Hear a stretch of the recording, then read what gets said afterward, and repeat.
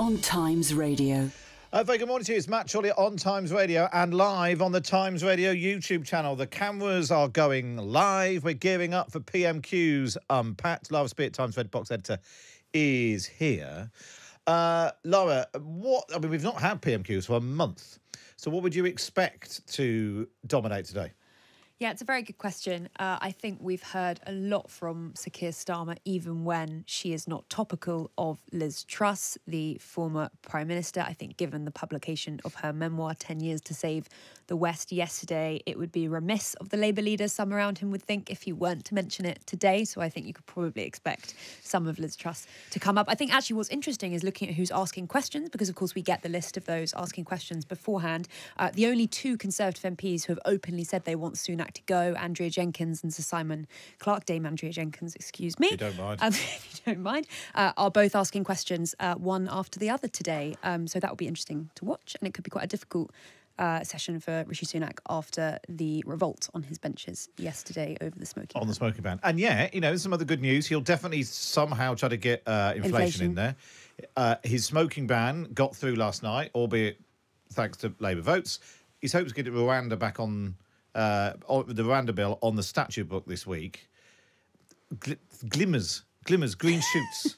Those that are watching can see you doing something quite fun with Well, your if you're on the YouTube channel, you can see me doing that. Glimmers, glimmers. Yeah, you're right. And the inflation, of course, one of his key priorities, something that he mentions all the time, uh, and that has fallen, albeit slightly slower than expected. Uh, I think, despite that slightly slower than expected uh, news this morning, we will still be hearing Rishi Sunak celebrating that as the product of government intervention today, which is, I think, is questioned by some some economics experts. But let's see.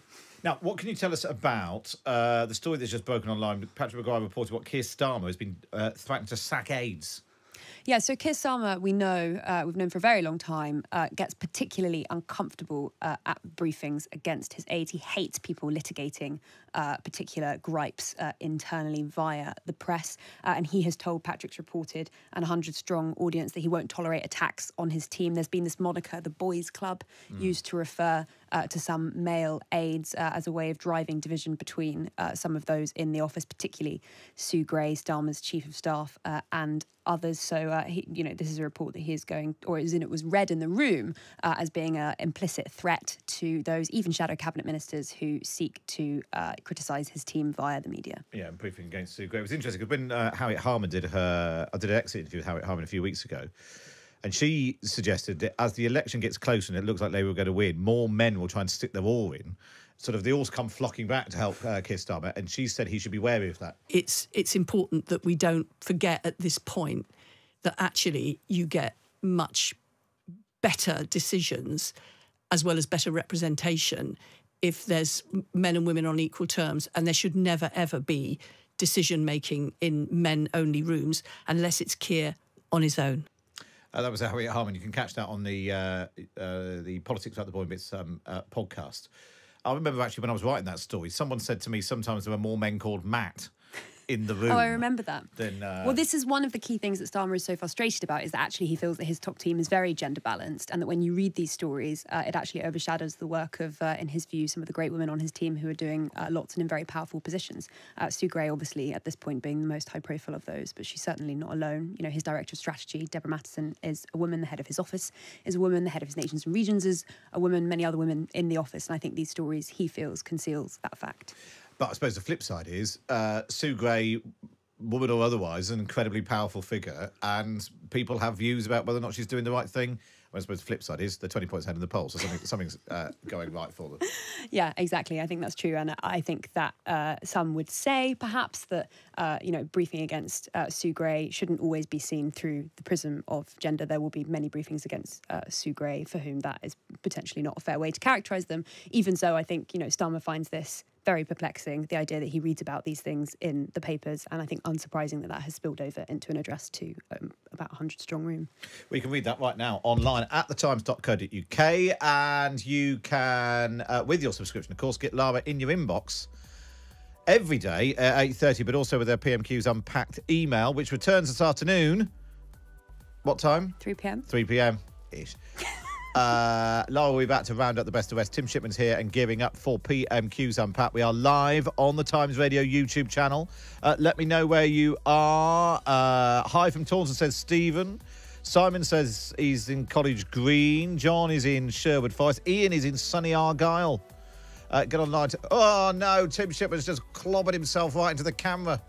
If you're watching on the YouTube channel, that's now where you can't see me. Get online, the YouTube channel, uh, Times Radio YouTube channel. PMQ's Unpacked is live next here on Times Radio. On DAB digital radio, on the Times Radio app, and on your smart speaker. Times Radio, the election station. It's 12 o'clock. I'm Matt Chorley. This is Times Radio. In a moment, PMQ's unpacked, but first a look at the headlines this lunchtime. Iran's warned of a severe response to any potential Israeli attack. David Cameron's in Israel and says it doesn't look like they're planning an attack in response to Iran's actions at the weekend.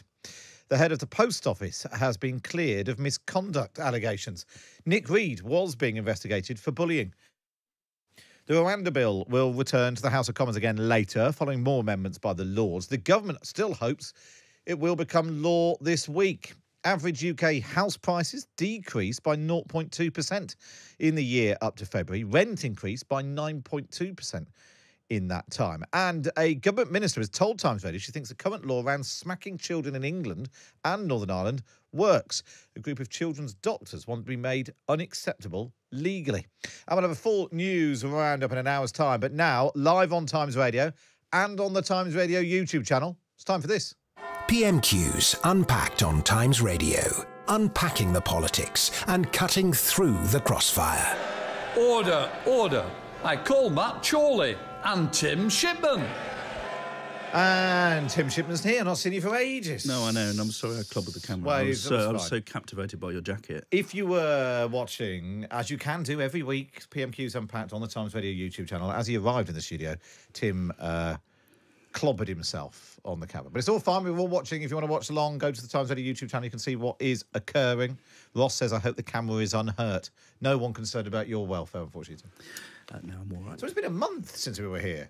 Yes, well, they've been away. They've been away they? on their uh, on their recesses. We had some And fun doing historic ones. A lot the quality of which was quite good by comparison. Although we did have, you know, 25 years to pick from. I'm That's sure there were some duffers in there.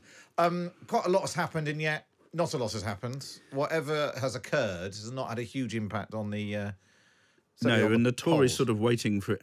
It must narrow. It must narrow. It must narrow. They're still waiting, aren't they? Um, and it's not clear that anything that's happened in the last sort of week uh, that's likely to come up today is going to change any of that. Um, but it should be a lively one. They've not had a go at each other for a while. Uh, You've got local elections coming up where they want to score some points, and you know, um, there's a bit of good news um, for Sunak, but um, you know, uh, the prospect of his um, predecessor. Liz Truss rampaging around, giving interviews left, right, and centre, um, and reminding people of what went wrong for the Tories on the economy, um, may be a helpful opening for the leader of the opposition, I suspect. So Liz Truss was in the Commons yesterday. I'm not sure she's ever made an appearance at PMQs since she, well, she barely made an appearance at PMQs when she was Prime Minister, of course. But uh, but on the front bench next to Keir Starmer, on one side he's got Rachel Reeves, the Shadow Chancellor. On the other side is Angela Rayner, his deputy. So they've both got their own trouble at home. I think Uh, it's fair to say. indeed, and it will be interesting to see whether Sunak feels the need to break the glass-marked police investigation into Angela Rayner at some point during proceedings. Um, doesn't feel like his style, um, particularly, but uh, we'll see. We'll wait and see. We'll wait and see. So uh, we can now go live to the House of Commons. Then this is question number one from Keir Starmer. The leader of the opposition, Keir Starmer. Uh, can I too welcome the postmasters in the gallery in their quest for justice? And Mr. Speaker, this week we marked 35 years since the disaster at Hillsborough, and the enduring courage and determination of the families must be marked by the passing of a Hillsborough law. Mr. Speaker, we also lost Lord Richard Rosser, a lifelong member of the Labour Party. He will be greatly missed, and our thoughts are with his wife Sheena, his family, and friends. Mr. Speaker, I'm privileged to be the proud owner of a copy of the former Prime Minister's new book. It's a ah. rare, unsigned copy, Oh dear. It's quite the, it's the only unsigned copy. It's quite the read. She claims the Tory party's disastrous kamikaze budget that triggered chaos for millions was, her words, the happiest moment of her premiership. Has the Prime Minister met anyone with a mortgage who agrees? Obviously talking about Liz Mr. Truss's book. Speaker, all I'd say is he uh, ought to spend a bit less time reading that book and a bit and a bit more and a bit more time reading the deputy leader's tax advice. Wow. Well, that then he sat answers that one then. Slam dunk. That's more like it. Yes, I mean, and, and that's punchy, and also gets to the heart of this issue, which is um, to some, in terms of the politics of it, it's partly about what Angela Rayner did or didn't do, and whether she misled various tax or electoral authorities.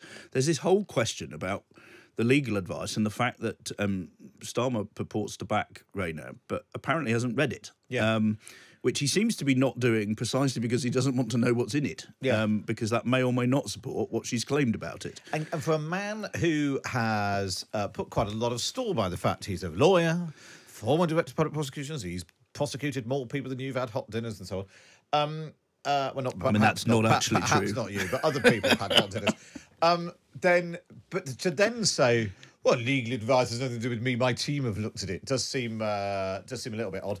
Um, an interesting. I mean, of all the things to pick out of the uh, of the book, what's quite smart about that question from Keir Starmer is it zeroes in on the message they want to land.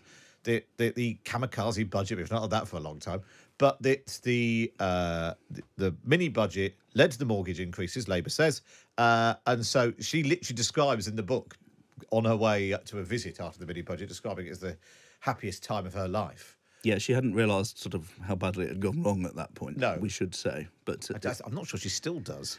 it's, I read it cover to cover last night. Actually, um, yeah. I found it more sort of entertaining and interesting than Patrick did in his review on the Times website now. Um, and she makes a lot of good points, but she doesn't make very good many good points about herself. There's not a lot of self reflection. I mean, uh, yeah, I mean, I, yeah. The piece that I wrote, was zero self-reflection. Yeah, essentially. I think that's I think that's fair. Um, and it's yeah, there's plenty there to, to latch onto. She's right that prime ministers have no support and ought to have medical backup and someone to do their hair without having to call yeah. somebody in. All of that's fair enough.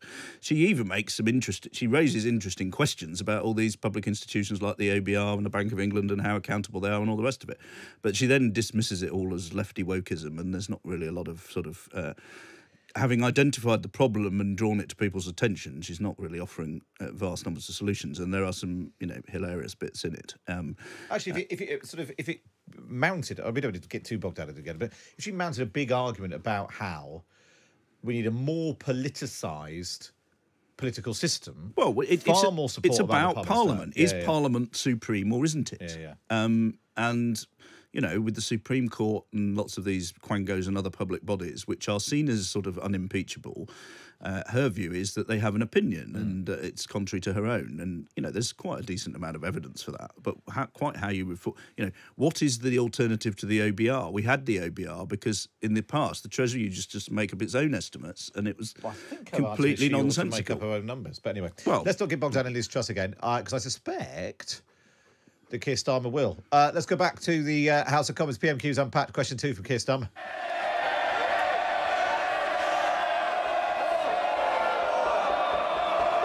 People are very excited about Rishi Sunak's comeback there. About uh, we spend less time reading Liz Truss's book and more time reading uh, Angela Rayner's legal advice. Lindsay Hoyle's on his feet. And he probably had a flowchart which said, if he goes for Truss, I go for Rayner. Yeah. Here's Starmer. Mr. Speaker. Mr. Speaker. We've got a billionaire Prime Minister and a billionaire Prime Minister, both of, both of whose families have used schemes to avoid millions of pounds of tax, smearing a working class woman. And I know. And the Prime Minister, Angela the Rayner former joining in Prime the Minister, heckling there. has a long list of people to blame for the economic misery. They don't want to hear it. They made her Prime Minister, and millions of people are paying the price. I mean, She's got speaking, a lots of them didn't want of to. people to blame. She blames the governor of the Bank of England, the Treasury, the Office for Budget Responsibility. The American president is blamed at one point. We even learned that the poor old lettuce was part of the deep state. Does the Prime Minister agree with me that it's actually much simpler than that? It was the Tories' unfunded tax cuts, tens of billions of pounds of unfunded tax cut, that crashed the economy and left millions paying more on their mortgages, wasn't it? Mr. Mr. Speaker, everyone knows that two years ago I wasn't afraid to repeatedly warn out what her economic policies would lead to, even if it wasn't what people wanted to hear at the time. Mr. Speaker, I was right. I was right then, but I'm also right now when I say that his economic policies would be a disaster for Britain. He would send inflation up, mortgages up, and taxes up, and working people would pay the price. Well, finally, you might be tempted to say, Yeah. after, you know, how long's he been in power now? Um, you know, 15, 18 months. Um, and that's the first time he's properly gone for Liz Truss in public and said, you know, I'm I lost to her, even though I made the argument that she was Yeah, yeah, yeah. completely wrong. I you was right. I was right. And here I am, prepared to say it finally. Um, and frankly, quite a lot of us wonder why he hasn't done Hasn't that done it before. uh, for for quite some time now. Um, but smart politics from from Starmer, you know, going after a working class woman, you're a billionaire. I mean, technically he isn't, is and his wife is sort of pushing billionaire status, um, at least in dollars. Um, but Labour would be the first think, people to say. I think if you're arguing about whether or no, not no, you I know, but Labour would be the dollars. first people to say, "Oh, you shouldn't, you know, uh, equate uh, a, a wife by her husband or a husband very by true. her wife." Yeah, yeah, yeah. Um, and yeah, it's, it's sort of. I think there's a hint as well, isn't there? Uh, in the first question as well, you know, do you know anybody with a mortgage? She said in the first Hmm. question who feels the same way. The hint being, you haven't got a mortgage, have you, mate? Um, you don't understand this. And then the billionaire hit in the second question. So it's smart politics, um, and it's probably not a fight that um, Sunak is going to be able to win rhetorically. Um, Liz Truss versus Angela Rayner. But interesting that instead of pivoting back to Rayner, he got stuck into Truss. Um, so, you know, it's at, at, at best a score draw so far for Sunak, but I think he, he deserves some credit for both answers, to be honest. Well, they're smart. I mean, actually, in terms of the because the complaint normally is that uh, lots of listeners get in touch. That he doesn't really answer the question. Uh, he just reads out the pre-planned lines, and they're normally burble, burble, warble, warble. You know, inflation, whatever. These are proper, sharp political comebacks. Yeah. Um. Uh. Which, which is which has sort of leveled the scores a bit. It, I mean, I take your point. It, it's as far as he's gone in terms of attacking Liz Truss. He still hasn't sort of done it. It's still not. Properly. It's still not with the studs up, is it? No. Well, maybe he's uh, he's holding back for um, uh, for the next outing. Uh, let's go back then. This is question number three from Keir Starmer. Appreciate the Prime Minister having the stomach to say it out loud, but everyone knows it's the Tory party's obsession with wild, unfunded tax cut that crashed the economy. We know it, he knows it, they know it, and the whole country is living it. So when is he finally going to learn the lesson from his predecessor's mistakes and explain where the money is coming from for his own completely unfunded 46 billion pound promise to scrap national insurance? Mr. Speaker, Mr. Speaker, when, when my predecessor was running for leader, to use his words, I did have the stomach to argue out loud about her economic policies, had the conviction to say that they were wrong. But not once, but twice, he tried to make his predecessor Prime Minister. Despite despite him opposing NATO and Trident, ignoring anti Semitism, and siding with our enemies. It's clear what he did. He put his own interests ahead of Britain's. Blimey, right, this is this this is proper. Yeah, yeah, it's not just Weetabix, it's with crack cocaine on top, isn't it? Um, by Sunak standards, anyway. Um, So, um, uh, yeah, I'm not sure that Liz Truss is necessarily going to survive till the end of question six at this rate if he keeps on cracking it up. So that the argument that Labour are really trying to land, and if people have been on social media, you'll, you'll have seen these adverts a Yeah. lot, that the ambition of Jeremy Hunt to abolish national insurance at some point in the future, Yeah. were you to do that right now, would cost you forty-six billion pounds. Yes. which is handily one billion pound more than the forty-five billion pounds of unfunded tax cuts that Liz Truss put forward.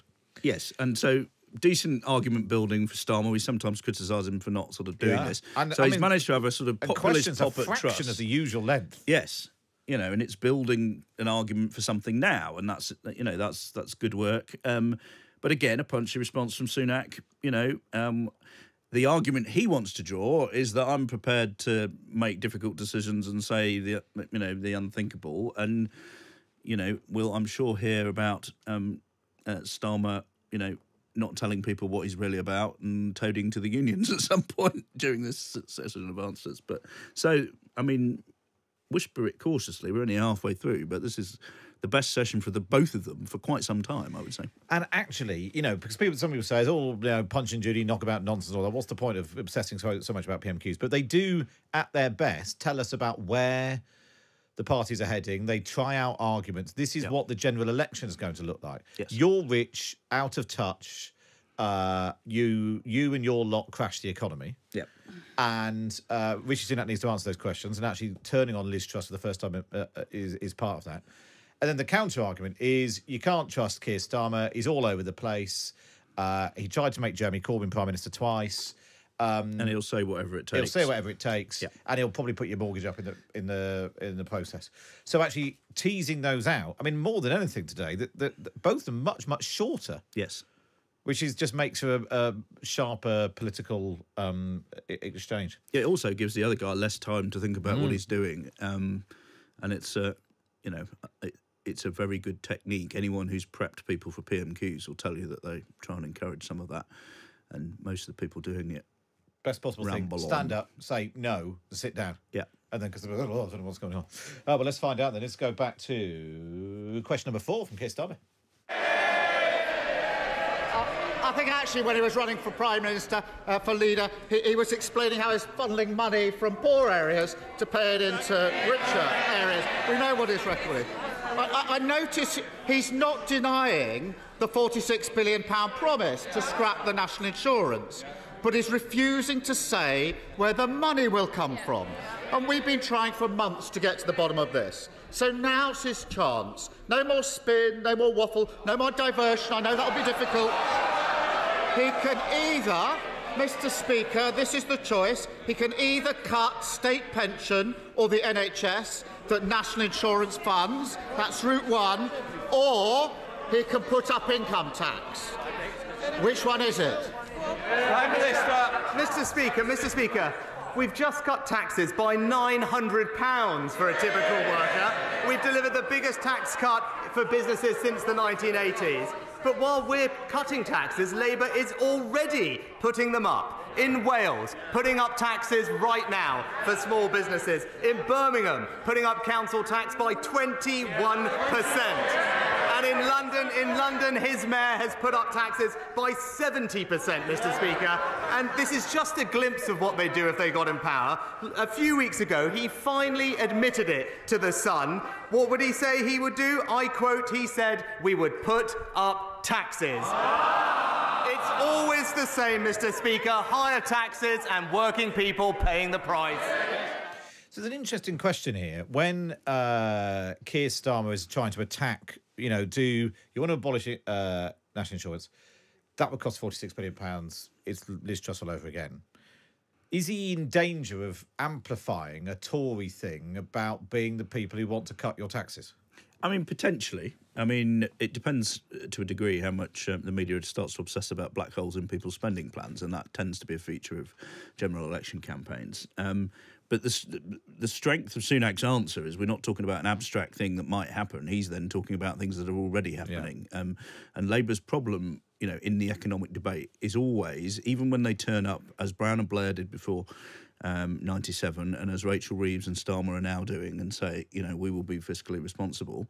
Um, you know, the record is that most Labour governments put up taxes and right, raise unemployment. It kind of happens every time, um, regardless of, you know, obviously they invest more in public services as well, and that is the trade off. Um, but both sides always try to pretend that you can have both of what they want. Um, And actually, and actually you do have to choose. in terms of of the the answer to Keir Starmer's question, what do you do? Do you cut pensions and national insurance, which actually aren't funded by hypothecation of national insurance? It's a sort of myth. But anyway, or do you put up income tax? And isn't the truth that the idea is you would basically move it onto income tax? I mean, it's just the point is you would only be taxing income on one figure rather than two. Yeah, exactly. Uh, that's quite a complicated argument to make Yeah. a, in a short time, and this is why Labour, if Sunak had said his his plan was to abolish income tax, um, I don't think they would be Labour would be getting quite so uppity about it. They know that people sort of like the idea of national insurance because it sounds like it's to do with the NHS and the state pension,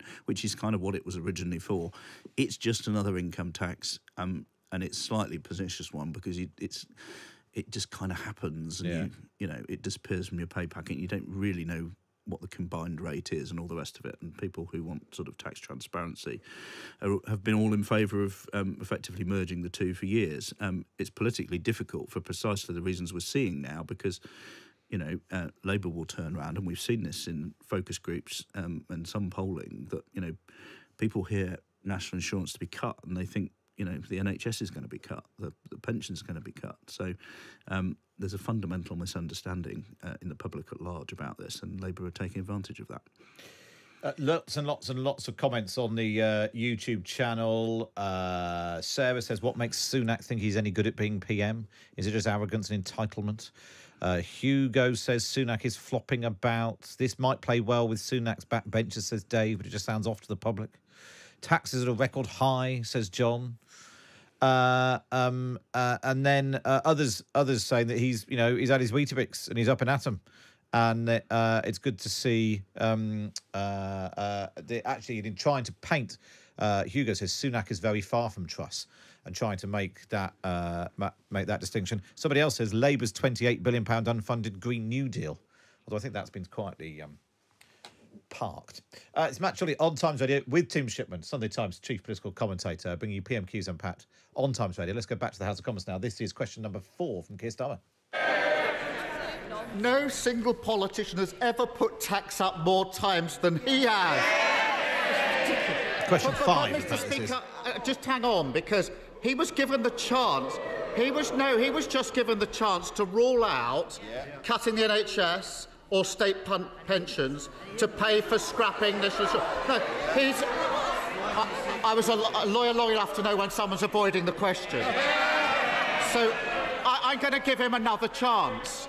Will he now rule out cuts the NHS, cuts the state pension, or putting up taxes to pay for his unfunded £46 billion promise to scrap national insurance? Which is it?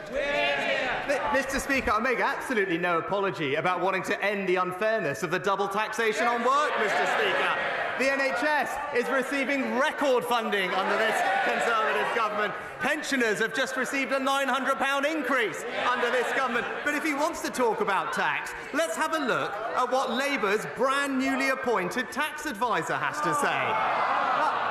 This advisor, this advisor thinks that supporting pensioners is a complete disgrace, Mr. Speaker. He believes their free TV licenses are ridiculous. And if it wasn't bad enough, this advisor has called for increases in income tax, in national insurance, and VAT. Yeah, it all makes sense now. That's who the Shadow Chancellor's been copying and pasting from. That's an old joke about um, that's Rachel Reeves in her book, um, uh, where large parts of it seem to have been lifted from uh, Wikipedia. Uh, that um, Edward Troup, Sir Edward Troup, if you, if you don't mind. Excuse me. She, uh, he is uh, now advising. Uh, he's a new tax czar for the Labour Party. He previously said that codger pensioners have had it ridiculously good, uh, according to a story in the Express last week. Um, uh, he warned today's pensioners had had it ridiculously good. Uh, it was a complete disgrace that pensioners aren't paying national insurance. We're going to have to look at more senior members of society. Uh, and, he, and and what the Express described as a final insulting blow. Ms. Reeves' new right hand man described older voters as codgers. He said, I can't, that, mm, he actually said, was, I'm, I'm told I can't use the word codgers, but as I'm officially a codger, I think I will. Anyway, there we are, codgers all round. Um, Uh, I'm, I'm wondering now about the, the, the wisdom of the Starmer attack. If if it's just letting Rishi Sunak talk about cutting taxes again, don't people ultimately like having tax cuts? I mean, I think generally they do, though a lot of the polling at the moment shows it's um, not the priority for people. They're more concerned about public investment. Um, so it's not as propitious a, a, a sort of environment for Sunak as it as it would might have been. Um, and I think there's a you know there's kind of a sense that Tory backbenchers obsess about tax cuts, but the public just wants things to function um, and uh, for it to be sort of broadly fair that you know um, people across the income scale are, are paying for it.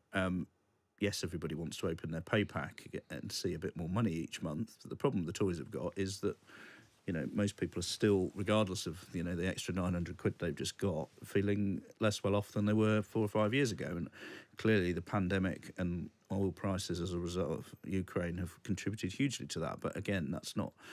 Uh, much of an argument when you're into sort of punch and Judy politics.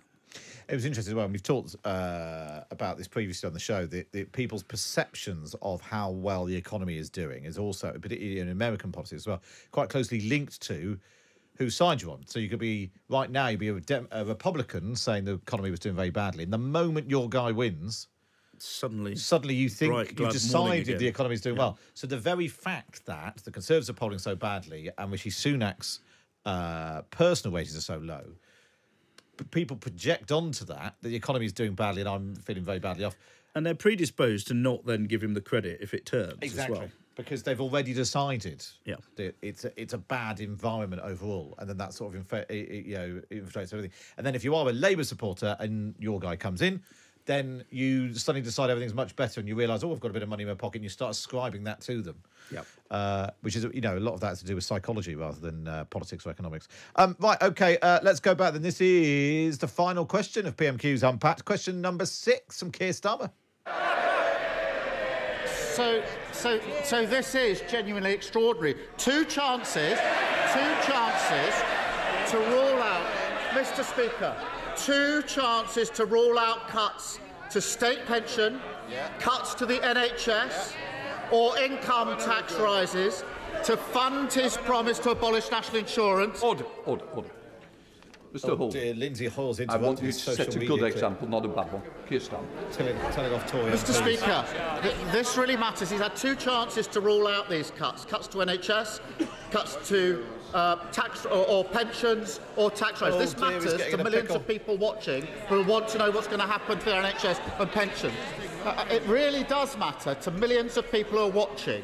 So I'll be really generous now and give him one last chance. Very simple, very clear. Is his £46 billion promise to abolish national insurance being paid for by cuts to the NHS, cuts to the state pension, or yet another Tory tax rise? Mr. Speaker, he's really got to keep up, Mr. Speaker, right? It's, it's, this, it's this government that's just delivered a £900 increase to the state pension. It's this government that's already committed to the triple lock for the next Parliament. Uh, he, he had six opportunities. I didn't think I heard him say that, Mr. Speaker. And when it comes to the NHS, you'd much rather be treated in Conservative run NHS in England, not the Labour run NHS in Wales, Mr. Speaker. But it's another week where all we heard is political sniping, Mr. Speaker, not a word about their plans for the country. He's failed to acknowledge that since we last met, taxes have been cut by £900, state pensions gone up, free childcare has been expanded, wages have risen for nine months in a row, Mr. Speaker, and just today, inflation down again to 3.2%. Our plan is working, and the Conservatives are delivering a brighter future for Britain. Wow. Um, now, I, I meant to mention this before. In question five, Keir Starmer really fluffed the question. If he was trying to get the clips for the social media, you know, we asked the Prime Minister three times. Yes. Uh, are you going to cut the NHS? Are you going to cut pensions? Are you going to put up income tax? He got into a right. He sort of fluffed it. He, you know, he mispronounced some words. He did finished. He didn't finish the end of the sentence. Well, it was fine because he's going to nail it in question six, and, And he's then halfway Lindsay through. Hoyle. Hoyle Screwed him up. pops in and, and uh, ruins it. And then he lost his thread and a botch of it again. I couldn't remember couldn't remember what the thing was again. Now somebody's just said uh, on the YouTube channel, this is a messy affair. He's wasted the last three questions. As Tom said that. I'm not sure that's right. There's, there's quite a No, and there's a- effective and- and- attack to say three times I've asked, three times it's not answered. But you need to ask it properly. Exactly. And going back to what I was saying before, Starmer knows that national insurance is not hypothecated to the NHS and pensions. What he's trying to do is through Sunak's inaction, attach those two things legitimately together uh, in a way that uh, will satisfy uh, a cynic like me, as well as people who misunderstand how national insurance works. Uh, so, in that sense, it was the right kind of plan. He didn't quite deliver it as well as he might have done. Um, but again, a pretty bravura comeback from uh, from Sunak. Um, who's acquired himself a slogan as well, a brighter future for Britain. I mean, this criticism of him is that he hasn't really been able to spell true, out what yeah. another five years of Rishi Sunak looks like. And if he doesn't do that, he's going to get absolutely obliterated at the election. But I, you know, we talk about the green shoots of recovery. Um, uh, with uh, inflation and all the rest of it, some green shoots of political kind of at least understanding what what he's got to argue and what he's got to go about doing from Sunak today. I Um, I think they'll be easily- pretty pleased with that in number 10. Easily Rishi Sunak's best performance at PMQs. I would say, yeah. I mean, I couldn't say overall, but certainly in in as long as I can remember. Uh, uh, and let's be frank, in a period when he has been in a state of political collapse, um, where all the word from inside the operation is that they're all sitting around, they're now convinced they're not just going to lose, but going to get absolutely mullered. Um, they've lost their mojo. There's infighting going on. Senior people being ignored, the wrong people being listened to. If you listen to the MPs, um, and a sense that this bloke was moping about and didn't really have any clue at all how to try and turn his situation around. Well, I don't think that that's going to end up making the difference. But he showed some fight. He had an argument, and I think the MPs behind him uh, that won't have done him any harm in terms of seeing off whatever might be coming after the local elections. I Um, think the showed a bit of fight. uh, the uh, the Labour Party, having thought they'd come up with some clever, clever doings, might be disappointed that he didn't wander straight into the trap. Yeah, I think. Well, I think that's right. They might have hoped he was sort of as inept as usual. Exactly, that's what I mean. So there's no way you can get around this. And Starmer was a bit sort of taken aback to be not winning easily. I think. Um, so in terms of actually, uh, expectation, it was a sort of Sunak victory, really. Um, and I'm, I'm I'm in two minds about Labour pushing on the. I think it's fine to attack the you know doing Liz Truss off you know outside the chamber, but the, the risk of doing it in the Commons is that he does actually distance himself from Liz Truss, and then he might get some political credit for it. Then you can't keep t- what the what they actually want to do is keep up the fact that he's never really turned on her, uh, because. You don't actually want him to turn on Liz Truss and no, you want to nail the two of them together Yeah, and say that they're guilty of the same things. So best not to ask him too much about it. Uh, right, up next, uh, Lara Spirit has been watching the best of the rest, including not one but two of the MPs who've asked Rishi Sunak to quit. Tory MPs, they've called him to quit. Did they produce any news? Lara Spirit rounds up the best of the rest from PMQs next on Times Radio. Politics without the boring bits. Matt Chorley on Times Radio. This isn't your first rodeo. You know running a business means wearing many hats. Whether you're riding waves of new opportunity or searching out new customers, there's always another job waiting. But when it's time to put your money hat on, try the bank built especially for established businesses. You'll get your own dedicated relationship manager and no monthly fees. It's how business banking used to be, just better. Get no nonsense business banking with Allica Bank. Allica Bank is authorised by the PRA and regulated by the PRA and FCA. T's and C's apply. Visit allica.bank. Do you know an ambitious business leader? Someone who is leading a growing UK business, creating a great place to work, contributing to a sustainable future, or expanding internationally? We want to hear from you. Nominate yourself or someone else for the LDC Top 50 Most Ambitious Business Leaders 2024. Visit ldc.co.uk slash radio to nominate by Monday the 29th of April. Winners will be revealed in the Times in October. ldc.co.uk slash radio. Darryl Morris wraps up the weekend's news and takes a look at the week ahead, Saturday and Sunday from 10 pm. Across the UK, on DAB, online, and on your smart speaker. Matt Chorley on Times Radio. Very good afternoon to you. It's Matt Chorley bringing you PMQs Unpacked on Times Radio. Still joined by Tim Shipman, Chief Political Commentator of the Sunday Times. We've just been pausing the action to analyse the key exchanges in real time between Keir Starmer and Rishi Sunak. Now, Lara Spirit's joined us. Hello. Yeah, you're on the radio. um, uh, how was the best of the rest? Um, they were good. Yeah, I don't know what you thought about the vibe in the chamber today, but I thought it was a lot Punchy, more lively. lively. It was much more lively than usual. Um, they've had a good break and a good rest. And probably a drink. but, they, but but you know, feisty, you know, proper political, you know, attacks from Yeah. both Rishi Sunak and Keir Starmer. And certainly, I think uh, the early signs of what some of the election slogans and campaigning will Mm. focus on from Rishi Sunak, there was quite a lot of mention of Birmingham and Wales and London, these kind of Labour run areas in part where he feels there have been conspicuous failures. There was uh, the plea to vote Susan Hall in the London mayoral election, safer with Susan, uttered from Rishi Sunak's lips. Good luck with that one.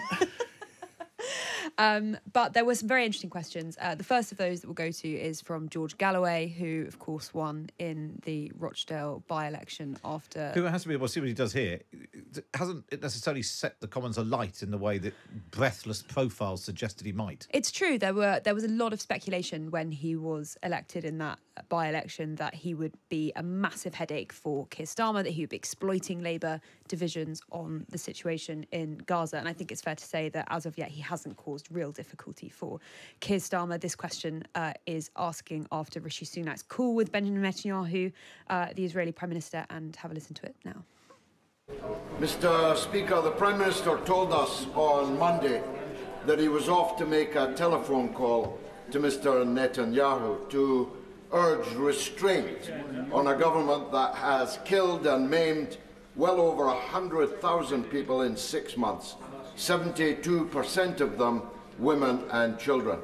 Can he tell us how the telephone call went and what he will do if his advice is not taken and an unrestrained war begins?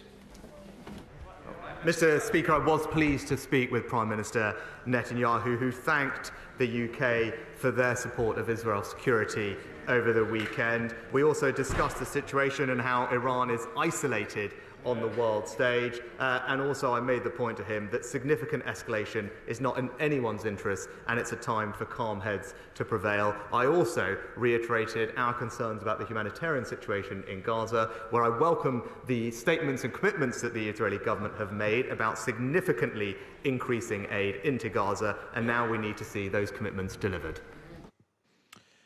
It's not quite a polite, calm response to, you know, the idea, don't you wind George Galloway up because it might make the situation more difficult. There was this interesting question of why Rishi Sunak said on Monday he was going to speak to Benjamin Netanyahu, and it took another full 24 hours before it actually happened, which I suppose is a side point. Yeah, exactly. And uh, I think it's taken slightly longer, but of course, we also have uh, Lord Cameron, who the Times revealed has uh, set off uh, on his Mm. trip to Israel, where he will also be uh, visiting. So I think there's a lot of diplomatic action going on on that front this week. Very good. Who else have we got? So- you, you were teasing us earlier with the fact that two people who've called for Rishi Sunak to go were going to ask questions. Were they any good? One of them was. Uh, one of them was from Dame Andrea Jenkins, Ah, uh, who yes. we're going to play last, but perhaps we can play now. Uh, who is one of those two MPs who has openly called for Rishi Sunak to go. Of course, it's not difficult, as all of us will have done, to speak to MPs who privately will say uh, that wouldn't be the worst thing. Very in- prominently at the Liz Truss book launch last night, Andrea was. Oh, was she? Along with half of the Reform Party. Was Farage there? Uh, no, I think he's in Brussels, isn't he? But uh, Richard Tice was. Oh, of course, Lee yeah. Anderson was. I don't know whether, but I know people. Have, a lot of people complain about the post, but my invite to Liz Truss's book launch still still hasn't arrived. Um, uh, well, fortunately, you can come to mine next week. well, we look forward to that. How have you, how have we got so far to PMQs without mentioning your imminent book release? Uh, well, it's next week. It's next week's the book. Is it out next week? It's out next Thursday. And you can read details of it. Well, I'm writing a piece for the Sunday Times this weekend. Very good. Which will cover some of what's in it and the big sort of picture. Me and Brexit, the last seven years of toil. Very good. And there'll be a special. Uh, Tim will be on the show again on Monday, talking about all of that. Anyway, sorry, Lara. We got somehow somehow somehow we Sorry, went from Andrea Lara. Jenkins to talking about uh, No, Tim. that's okay. Um, Andrea Jenkins is asking about um, the inquiry into Angela Rayner, the deputy leader, leader the police inquiry. Uh, and it's interesting because I think we're hearing from Rishi Sunak what his chosen attack line on this saga is. Name Andrea Jenkins. Thank you, Mr Speaker. I abhor a two-tier policing system, and we must ensure that everyone's treated equally under the rule of law. The Labour Police and Crime Commissioner who investigated the Beegate scandal handed their police chief constable a new three-year contract whilst the investigation into the Labour Party leader and deputy, deputy leader was ongoing. Now, two former Labour MPs are overseeing the force due to investigate the opposition deputy leader. Does the Prime Minister agree with me that complete transparency throughout this investigation is of the utmost importance? Yeah, my uh, right honourable friend makes an important point. A key principle of our country is that there are the same rules for everyone. And when it comes to this topic, I do think the Labour leader should show some leadership. To avoid stop reading the legal advice, simply just publish it and get a grip of the situation. And it says a lot about his priorities that when it comes to his famed legal expertise, he's more than happy to help defend Hizb ut-Tahrir, but refuses to help his own deputy leader. I mean, there was a better response from Keir Starmer. That, the, the question was impenetrable, wasn't it? It was slightly labyrinthine. Um, also, is Andrea she- Jenkins trying to be helpful, but uh, sort of not quite succeeding because no one really knew what she was on about. Is she the right honourable? I'm not sure she is, is she? He said my it's right possible she was tossed one by Boris Johnson, I imagine, Privy along with the I damehood. I don't think she was. I don't think you get. Not you according to Parliament that with the TV, we're hearing. Yeah.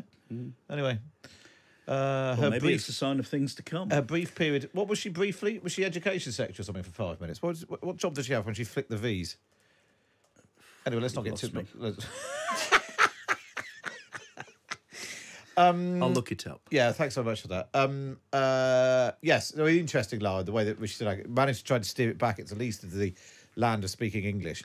Yeah, it was Uh, slightly risky territory asking him to, in some way, criticise an active police investigation um, that many of them are quite happy is taking place at all now uh, after objections from a Conservative MP. So I think difficult to manage that one slightly. But as you say, the line there was quite clear that he is. I think going on this fact that Keir Starmer, quite perplexingly, has said, despite his legal background, that he hasn't seen the legal advice and doesn't need to, despite his team having seen it. I think that's one of the ways that they are going to try and attach this scandal uh, that obviously is troubling Angela Rayner to Keir Starmer as closely as they possibly can, regardless of the outcome. And actually, I mean, he even brandished his legal background during PMQs today. He loves doing that. I was a lawyer long enough to know when someone isn't answering the question, which is interesting. Also, a slightly odd question to basically stand up and say, wouldn't you agree with me uh, that it'd be terrible if there was any political interference and pressure put upon the police? And would you do everything you possibly can to put pressure upon the police to ensure they carry on doing that?